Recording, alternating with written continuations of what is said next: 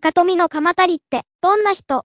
中富の鎌足り622年669年は、飛鳥時代の日本において重要な政治家であり、藤原氏の祖として知られています。彼は天智天皇と天武天皇の下で活躍し、日本の政治構造に大きな影響を与えました。鎌足りの最も顕著な業績は、中国の政治システムを参考にした大化の改新における彼の役割です。彼は国家の中央集権化を進め、官僚制度の整備に努めました。これらの改革は日本の政治体系を大きく変革し、後の奈良時代や平安時代の基盤を築くことになります。また、鎌足は天智天皇の信頼を得て、多くの外交施設として中国や新羅に派遣されました。彼の外交手腕は日本の国際関係に大きな影響を与えました。鎌足の物語は日本の歴史における重要な時代の転換点を象徴しています。